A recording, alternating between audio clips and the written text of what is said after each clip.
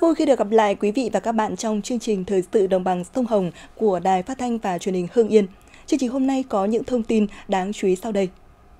Người dân không cần tẩy chay thịt lợn trước dịch tả lợn châu Phi. Hà Nam có nhiều doanh nghiệp tham gia sản xuất vật liệu xây dựng thân thiện với môi trường. Phụ nữ xã Minh Đạo, huyện Tiên Du, tỉnh Bắc Ninh với phong trào làm sạch đồng ruộng. Hiệu quả phương pháp vệ sinh lưới điện đang vận hành bằng nước áp lực cao theo công nghệ hotline tại Ninh Bình. Thưa quý vị và các bạn, theo nghiên cứu, dịch tả lợn châu Phi chỉ là 100% lợn mắc bệnh bị chết chứ không lây lan sang người. Tuy nhiên, do không hiểu đúng về dịch tả lợn châu Phi nên nhiều người tiêu dùng tẩy chay không dùng thịt lợn, gây khó khăn thiệt hại cho người chăn nuôi. Thịt lợn là thực phẩm không thể thiếu của mỗi gia đình. Vậy mà từ khi bệnh dịch tả lợn châu Phi xâm nhiễm vào địa bàn tỉnh ta, cộng với việc không hiểu đúng về dịch bệnh đã khiến nhiều người tiêu dùng không sử dụng thịt lợn trong bữa ăn hàng ngày. Chúng tôi không dám ăn. Bây giờ chúng tôi ăn thịt gà. Hàng ngày tôi đi chợ thì chủ yếu là tôi mua thịt gà với cá. Chứ còn cái dịch tả châu Phi chúng tôi không dám ăn. Mấy tháng này mình không dám ăn từ cái đợt mà nghe đến ờ, dịch lợn tả châu Phi đấy là cả nhà không dám ăn luôn. Không dám chế biến luôn. Đó là tâm lý chung của rất nhiều người tiêu dùng trên địa bàn tỉnh ta khi chưa hiểu rõ về bệnh dịch tả lợn châu Phi. Điều này khiến sức mua thịt lợn tại thị trường giảm hẳn. Những tiểu thương bán các sản phẩm chế biến từ thịt lợn như nem, giò chả cũng chịu tác động không nhỏ bởi tâm lý e dè của người dân khi sử dụng các sản phẩm chế biến từ thịt lợn. Thì hầu như người ta toàn lắc đầu kể cả có quen em lên xem nữa người ta bảo em ăn thịt đi, thịt rất ngon, người ta bảo không, em không ăn. Trong cái lúc mà bị dịch thì có khi từ sáng trưa 10 cân khó khăn. À, với điều kiện là chỉ quen những khách nào mà cực quen thân ấy thì là gọi là em ơi rất là ngon yên tâm đi thì là người ta cũng sẽ tin tưởng với mình ấy thì là người ta ăn. Còn không thì không. Ừ, Thanh minh với mọi người là không có vấn đề gì nhưng mà nói chung là người dân người ta vẫn cứ hoang mang. Trước kia thì chị bán được nhưng mà cái từ cái đợt dịch là bán kém lắm bán được ít. Mấy nhà hàng là trước là vẫn lấy bình thường nhưng mà từ cái đợt dịch là coi như là họ không lấy nữa họ không không sử dụng vậy là người dân người ta không ăn đâm ra là người ta cũng không không lấy nữa ừ. thế đâm ra là bây giờ chị chỉ bán được có ít thôi vài cân theo khuyến cáo của ngành thú y, người tiêu dùng hoàn toàn yên tâm vì bệnh dịch tả lợn châu Phi chỉ gây bệnh trên lợn và không lây truyền sang người. Virus gây bệnh dịch tả lợn châu Phi dễ dàng bị tiêu diệt ở môi trường nhiệt độ 100 độ C trong thời gian chưa đến 1 phút. Do vậy, người tiêu dùng không nên hoang mang tẩy chay thịt lợn và các sản phẩm từ thịt lợn. Lưu ý, nên mua thịt lợn đã qua kiểm dịch, cảm quan sản phẩm tươi, không xuất huyết, không đổi hạch và nấu chín trước khi sử dụng. Hiện trên mạng xã hội có nhiều thông tin sai sự thật về bệnh dịch tả lợn châu Phi gây hoang mang dư luận và đã có một số cá nhân phải chịu trách nhiệm trước pháp luật về việc phát tán những thông tin thất thiệt. Người dân nên cẩn trọng trước các thông tin lan truyền trên mạng xã hội, yên tâm khi sử dụng thịt lợn và các sản phẩm thịt lợn tại các cửa hàng có uy tín, có nguồn gốc xuất xứ rõ ràng, được kiểm định dịch bệnh và đảm bảo an toàn vệ sinh thực phẩm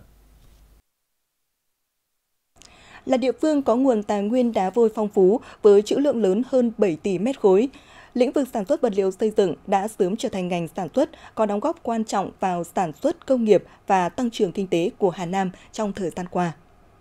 Theo đánh giá của Sở Xây dựng, giá trị sản xuất vật liệu xây dựng của Hà Nam giai đoạn 2011-2018 liên tục tăng cao qua các năm, từ 5.500 tỷ đồng lên hơn 15.000 tỷ đồng vào năm 2018 và phấn đấu đạt hơn 34,2 nghìn tỷ đồng vào năm 2020. Trong các công trình, vật liệu là yếu tố chiếm khoảng 70% giá thành. Trong điều kiện nguồn tài nguyên thiên nhiên, trong đó có vật liệu xây dựng tự nhiên ngày càng cạn kiệt, từ việc khai thác quá mức đã ảnh hưởng nghiêm trọng đến môi trường. Do vậy, xu hướng phát triển vật liệu thay thế có ý nghĩa rất lớn trong bối cảnh hiện nay, làm giảm tác động đến môi trường, hạ giá thành các công trình. Năm 2019, huyện Hải Hậu tỉnh Nam Định xác định phát triển đồng bộ kinh tế biển theo hướng sản xuất hàng hóa bền vững, là động lực thực hiện và hoàn thành đề án tái cơ cấu ngành nông nghiệp theo hướng sản xuất hàng hóa, nâng cao giá trị gia tăng và phát triển bền vững giai đoạn 2015-2020. Huyện Hải Hậu đã chú trọng phát triển đội tàu khai thác hải sản xa bờ, với ngành nghề khai thác chủ yếu là lưới dê chiếm trên 80%. Tính đến cuối năm 2018, toàn huyện có 857 phương tiện khai thác với tổng công suất trên 90.000 CV 14 tàu khai thác vỏ sắt công suất từ 800 đến 1.200 CV được trang bị máy móc thiết bị hiện đại, có khả năng chịu được sóng gió tốt, hoạt động dài ngày trên biển, Không chỉ ở lĩnh vực khai thác, diện tích nuôi thủy sản của huyện Hải Hậu cũng phát triển với 2.320 ha, trong đó nuôi nước ngọt là 1.850 ha, nuôi mặn lợ là 470 ha. Năm 2018, sản lượng nuôi trồng thủy sản của toàn huyện ước đạt 14.025 tấn, tăng 5,2% so với năm 2017. Ở các vùng nuôi tập trung đều đã thành lập được các hợp tác xã, tổ hợp tác, câu lạc bộ ngành nghề để hỗ trợ nhau trong sản xuất và tiêu thụ sản phẩm, khắc phục các hạn chế nhược điểm của sản xuất đơn lẻ, bước đầu hình thành chuỗi giá trị trong sản xuất nuôi trồng thủy sản. Phát huy phẩm chất bộ đội cụ Hồ, nhiều cựu chiến binh ở xã Hoàng Diệu, huyện Sa Lộc, tỉnh Hải Dương phát huy nghề truyền thống làm giàu cho gia đình và địa phương. Xuất ngũ về địa phương, cựu chiến binh Trần Huy Thắng ở thôn Trúc Lâm, xã Hoàng Diệu lan lộn đủ nghề để phát triển kinh tế cho gia đình. Sau hơn 20 năm làm tại xí nghiệp ô tô Hải Hưng, sau đó làm nghề xay sát gạo, nhưng thu nhập chẳng đáng là bao. Năm 1996, ông Thắng quyết định đầu tư máy móc để theo nghề truyền thống của địa phương, sản xuất giày dép da. Hiện tại, trung bình mỗi tháng, cơ sở sản xuất gần 10.000 đôi giày dép các loại, xuất bán ở nhiều địa phương trong cả nước. Ông Thắng trở thành một trong những hộ phát triển kinh tế tiêu biểu ở xã Hoàng Diệu. giờ nó làm công nghệ cao rồi. Ngày xưa thì ờ, tôi cũng ờ, buôn ba buôn bán ờ, khắp các nghề. Thế thì về tôi nhận thấy cái, nghề giày da của các cụ để lại là rất hiệu quả. Thế tôi nghiên cứu và tập trung vào gia đình để mình làm cái nghề giày da là nó phát triển. Tôi làm cái nghề giày da từ năm 96 đến nay đã được hơn 20 năm rồi. Hiệu quả cái nghề da này nó mang lại kinh tế rất cao, đảm bảo cho gia đình, đảm bảo cho nhân dân là cuộc sống là nâng cao từng ngày một. Hiện nay toàn xã Hoàng Diệu có 30 cựu chiến binh, cựu quân nhân phát huy nghề truyền thống của quê hương để làm giàu cho gia đình và giải quyết việc làm cho hàng nghìn lao động địa phương. Họ xứng đáng là bộ đội cụ Hồ, không ngại khó khăn gian khổ, tự lực tự cường vươn lên trong cuộc sống. Quý vị và các bạn thân mến, trong khi nhiều thế hệ thanh niên ngày nay lựa chọn xa quê về các thành phố lớn lập nghiệp làm giàu, thì vẫn còn những bạn trẻ cầm trên tay tấm bằng đại học, sẵn sàng từ bỏ cơ hội làm việc ổn định với mức thu nhập tương đối cao, trở về quê hương, phát triển kinh tế theo hướng riêng với quyết tâm làm giàu cho bản thân, làm giàu cho quê hương. Cũng từ phong trào này đã có nhiều mô hình hay, nhiều tấm gương tiêu biểu thành công, tạo động lực cho thanh niên các địa phương tích cực thi đua, mạnh dạn trong phát triển kinh tế, góp phần xây dựng quê hương ngày càng giàu đẹp. Ghi nhận tại tỉnh Bắc Ninh. Cầm trên tay tấm bằng cử nhân quản trị kinh doanh của Trường Đại học Thương mại Hà Nội, thế nhưng thay vì lựa chọn công việc ổn định với mức thu nhập khá như nhiều chị em phụ nữ khác, bạn Vũ Thị Thu, sinh năm 1992 ở thôn Thiên Đức, xã Thái Bảo, huyện Gia Bình, lại ấp ủ trong mình ước mơ biến mỗi tấc đất quê hương trở thành tấc vàng bằng niềm đam mê với các loại cây dược liệu. Sau nhiều lần thất bại, thậm chí là mất trắng, phải bắt đầu lại từ con số 0, nhưng với sự nỗ lực không ngừng và quyết tâm cao, cùng sự hỗ trợ động viên của gia đình và các tổ chức đoàn thể, Thu đã bước đầu thành công với việc tạo ra 19 sản phẩm thảo dược có nguồn gốc tự nhiên cung cấp cho thị trường, mang lại doanh thu hơn 200 triệu đồng một tháng. Đầu tiên là đưa về trồng ở một ruộng là hơn một xào, nuôi là mấy chục mấy chục triệu tiền giống nhưng mà trong cái quá trình đấy là um, quá trình mà cây thích nghi là bị tỷ lệ chết rất là cao. Cái đợt đấy là có đợt mà muốn muốn bỏ cuộc luôn ấy Nhưng mà xong về sau bảo là thôi cố gắng và bây giờ cũng bỏ tiền ra rồi thì là mình mình nghiên cứu với cả mình mình mình ờ, mình chăm sóc lại cẩn thận để xem tình hình nào nó có nó có thuần được với khí hậu ở miền Bắc mình hay không. Mỗi lần mà nghiên cứu như thế thì thất bại như thế thì tốn rất là nhiều tiền nhưng mà gia đình là vẫn luôn ở bên động viên và hỗ trợ thì là bây giờ mới phát triển được thành cơ sở sản xuất mới cả có cái diện tích ờ, trồng dược liệu như bây giờ ấy. Không riêng chị Thu mà nhiều đoàn viên thanh niên trẻ trên địa bàn tỉnh cũng có mong ước làm giàu trên mảnh đất quê hương bằng chính sức lực của mình. Thực tế cho thấy thời gian qua có rất nhiều tấm gương thanh niên tiêu biểu trong phong trào khởi nghiệp được đoàn hội thanh niên các cấp và chính quyền địa phương ghi nhận. Tuy công việc khác nhau nhưng tất cả đều chung một mục tiêu đó là xây dựng và phát triển kinh tế, làm giàu chính đáng cho bản thân và cho quê hương. Ngoài vốn à, quỹ thanh niên khởi nghiệp thì chúng tôi còn phối hợp với các đơn vị để có những nguồn quỹ khác nhau để cho các bạn có khả năng khởi nghiệp, lập nghiệp và chúng tôi thành lập những hội đồng đánh giá chất lượng của những ý tưởng khởi nghiệp đó. Từ đó định hướng cho các bạn về hướng đi phát triển làm sao mang tính chất bền vững. Đó là một trong những tiêu chí để cho chúng tôi đánh giá về công tác đoàn phong trào nhi đã được Trung ương ghi nhận cao là một trong những đơn vị đi đầu trong việc đồng hành cùng với thanh niên trong việc phát triển kinh tế văn hóa xã hội tại địa phương. Trong tiến trình công nghiệp hóa, hiện đại hóa và hội nhập quốc tế, bên cạnh chủ trương mở cửa và đẩy mạnh thu hút đầu tư nước ngoài, tỉnh Bắc Ninh cũng nhất quán quan điểm ưu tiên hỗ trợ cho doanh nghiệp khởi nghiệp và xác định đây sẽ là động lực chính phát triển kinh tế trong tương lai. Với sự quan tâm hỗ trợ đó cùng bản lĩnh sáng tạo, dám nghĩ dám làm của tuổi trẻ xứ trăm nghề, giàu bản sắc Bắc Ninh Kinh Bắc, chúng ta hoàn toàn có thể tin tưởng về một tương lai tươi sáng, nở rộ sắc màu của những bông hoa khởi nghiệp như anh Dũng, chị Thu, trong toàn tỉnh Bắc Ninh.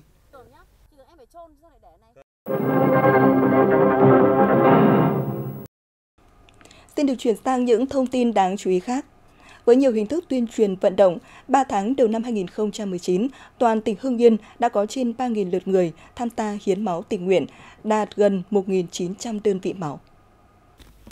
Theo báo cáo của Ban chỉ đạo vận động hiến máu tình nguyện tỉnh, trong 3 tháng đầu năm, toàn tỉnh đã tổ chức được 6 đợt hiến máu thu hút trên 3.000 cán bộ đoàn viên thanh niên, công nhân và người dân đăng ký hiến máu. Các đơn vị triển khai vận động hiến máu là huyện Khói Châu, Văn Giang, Tiên Lữ, công ty trách nhiệm hữu hạn thiết bị điện nước Phúc Hà, Đại học Tài chính Quản trị Kinh doanh, Điện lực Hưng Yên. Sau quá trình kiểm tra sàng lọc, toàn tỉnh đã tiếp nhận được gần 1.900 đơn vị máu. Theo kế hoạch, trong năm 2019, toàn tỉnh phấn đấu tuyên truyền vận động cán bộ nhân dân tham gia hiến máu đạt 10.000 đơn vị máu.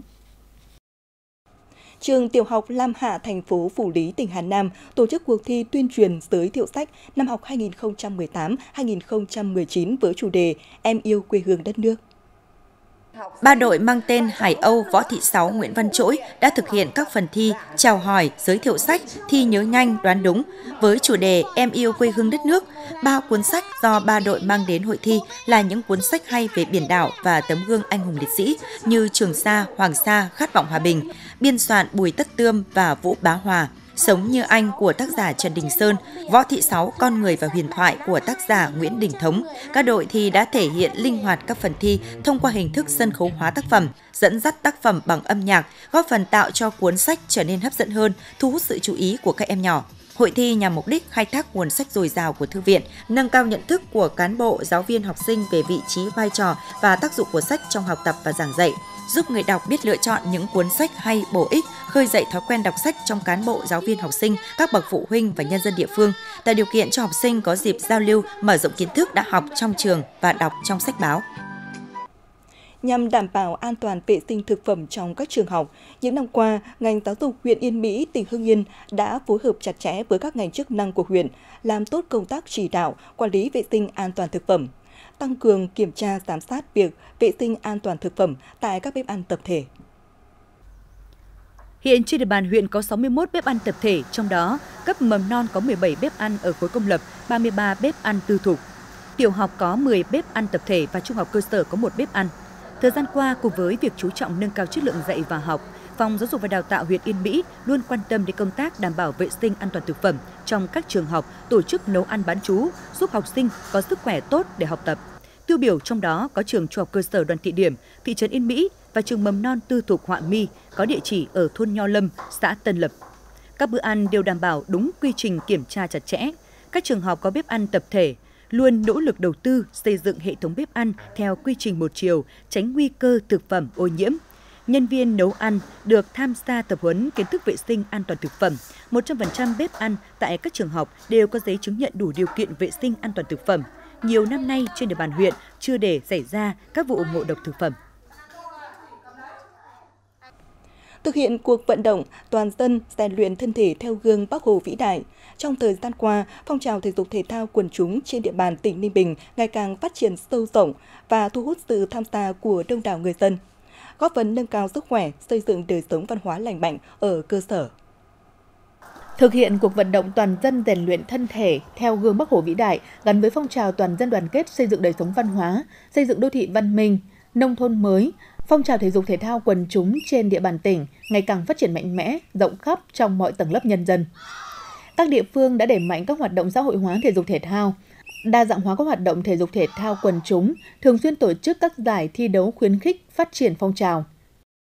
Đến nay, số người tham gia luyện tập thể dục thể thao thường xuyên đạt 30%, toàn tỉnh có trên 600 câu lạc bộ thể dục thể thao cơ sở, nhiều xã phường thị trấn trong tỉnh đều xây dựng được nhà thể thao đa năng, thành lập các câu lạc bộ thể thao hoạt động hiệu quả. Với bước tiến ổn định và hiệu quả, thể dục thể thao quần chúng đang góp phần vào phát triển kinh tế văn hóa xã hội nói chung trong tỉnh. Nằm trong những nội dung thực hiện mô hình 50 ban sạch do Hội Phụ nữ tỉnh Bắc Ninh phát động, thu nhặt vỏ bao bì thuốc bảo vệ thực vật, làm sạch đồng ruộng, công việc tưởng chừng như độc hại vất vả này lại đang được chị em hội viên phụ nữ xã Minh Đạo, huyện Tiên Du, tỉnh Bắc Ninh hăng hái tích cực triển khai với suy nghĩ đơn giản, góp thêm công sức nhỏ bé, giữ gìn bảo vệ môi trường sống của chính thế hệ mình và con cháu họ. Là một trong những nội dung nằm trong chương trình 503 sạch do Hội Phụ nữ địa phương phát động, mô hình làm sạch đồng ruộng càng phát huy hiệu quả khi kết hợp với Hội Nông dân. Tại xã Minh Đạo, từ nguồn ngân sách địa phương để xử lý ô nhiễm môi trường từ vỏ bao bì thuốc bảo vệ thực vật, xây dựng ý thức bảo vệ môi trường đối với người dân. Đảng ủy, Ủy ban nhân dân xã đã bàn bạc thống nhất ban hành nghị quyết cụ thể hóa mô hình 503 sạch, sạch nhà, sạch bếp, sạch đồng, thực hiện đầu tư xây dựng 43 bể chứa rác thải, vỏ bao bì thuốc bảo vệ thực vật ở khắp các xứ đồng trên địa bàn. Năm 2019 được xác định là năm Bắc Ninh hành động vì môi trường. Việc làm của chị em phụ nữ xã Minh Đạo cho dù nhỏ bé nhưng có sức lan tỏa mạnh mẽ, mang ý nghĩa lớn lao góp phần tuyên truyền, nâng cao nhận thức ý thức tự giác của mỗi người dân trong việc bảo vệ môi trường, hướng tới phát triển bền vững.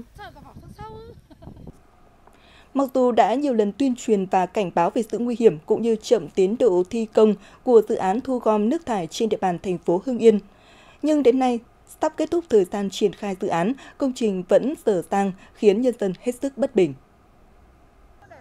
Hiện trên tuyến đường Nguyễn Thiện Thuật, phường Lê Lợi có tới hai hố được đào sâu để phục vụ cho dự án thu gom nước thải, song không hề có bất kỳ biển cảnh báo hay tín hiệu nào khiến nhiều phương tiện qua lại đây bị rơi xuống hố gây thương tích cho người tham gia giao thông.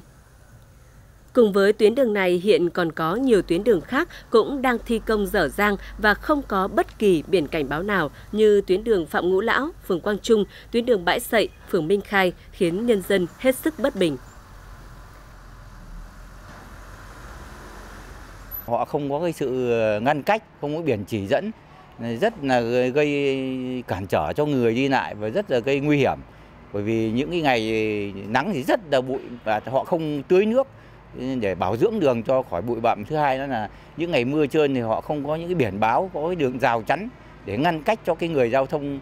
cái tham gia giao thông biết được cái sự nguy hiểm ấy, cho nên nó cũng thường xuyên xảy ra trơn trượt ngã. Cái công trình này thi công thì cũng được 5 6 tháng rồi. Nhưng ờ, có lúc làm, có lúc dừng nay làm một tí, mai làm một tí cho nó rơi vãi ra đường đất cát là rất là bẩn thỉu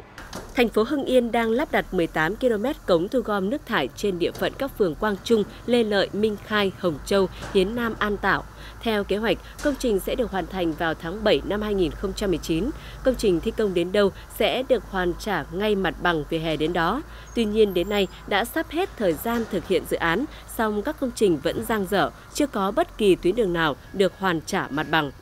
Thiết nghĩ thành phố Hưng Yên cần tập trung đôn đốc đơn vị thi công đẩy nhanh tiến độ để đảm bảo an toàn cho người và phương tiện tham gia giao thông và tránh làm ảnh hưởng tới sinh hoạt cuộc sống của người dân.